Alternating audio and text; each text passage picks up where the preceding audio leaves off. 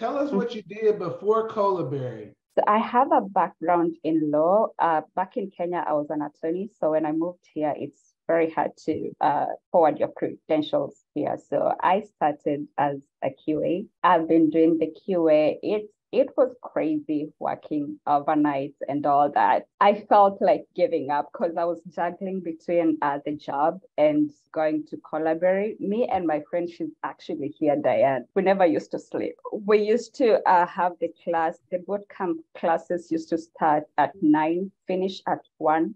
And then from two, we start doing the homework.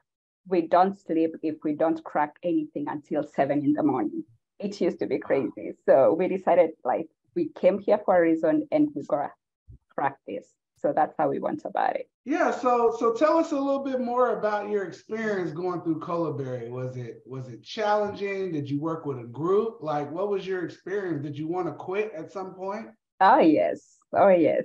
Mm-hmm. I felt like quitting. It's not easy coming from where I didn't have an IT background. It wasn't easy. The first time I had SQL, I was like, is it SQL? Is it SQL? And then creating a table, we we had to go through it like two times to actually understand it. It was challenging at the same time fulfilling.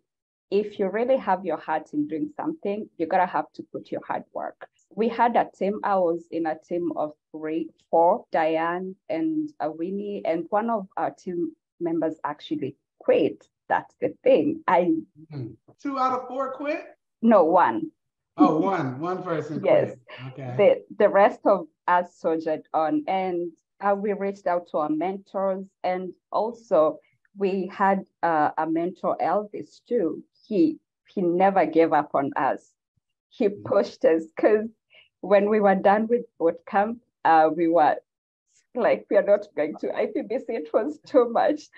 And you know what he told us? You guys cannot go anywhere without IPBC. You have to join that. so we had to the project recording the videos. I was not really good in camera, like facing this. I could look here. And all the comments that people tell you on uh, your videos that you have to work on this, they actually work when you come to the interviews.